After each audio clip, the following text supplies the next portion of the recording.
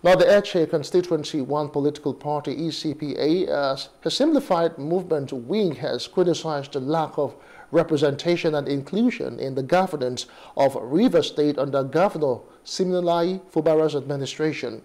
During a press briefing in Port Harcourt, members of the ECPA's Leaders Council stated that no individual from their constituency has been appointed to any position in the current state government the council's chairman, Paul Nwa advocated for the strategic appointment of Etche Constituency 1 residents into the state government agencies, institutions, and departments. He expressed the belief that including individuals from the constituency would promote fair representation, equity, and justice, noting that the current appointments have been focused primarily on constituency 2.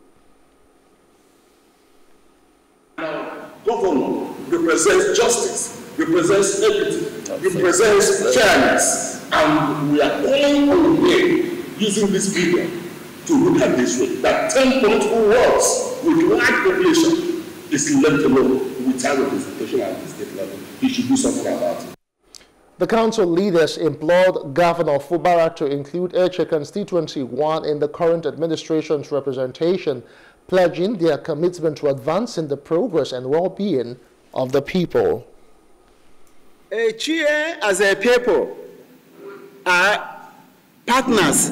Ordinarily, our partners should be partners in the administration of the uh, River State government. All eight political appointments made so far, all of them, it was in the favor of uh, Etche consensus too. We are saying simply, it has nothing to do with the leadership or administration of the government council.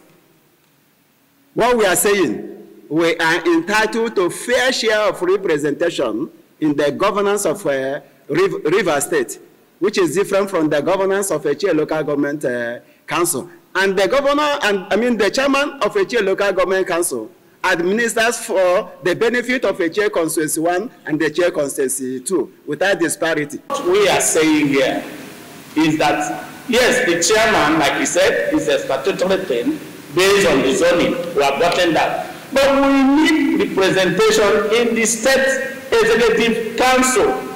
In a place where you have 10 wards and nobody will speak something about you in that in the council. Wouldn't uh, uh. And we people from this side should be remembered. That was as well. We should be remembered in the. Hello. Hope you enjoyed the news. Please do subscribe to our YouTube channel and don't forget to hit the notification button so you get notified about fresh news updates.